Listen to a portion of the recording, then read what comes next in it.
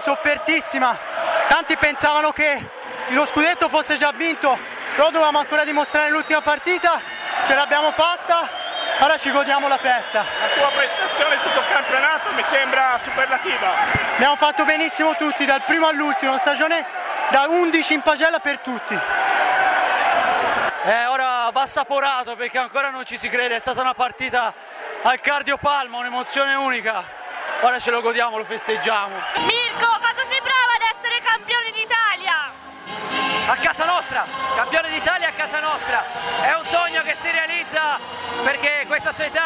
Aveva fatto grandi campionati fino a quest'anno ma non è riuscita a vincere trofei. Credo che riscoprendo l'anima di Viareggio, l'anima viareggina, abbiamo dato un qualcosa più e stasera è la dimostrazione del pubblico che è presente.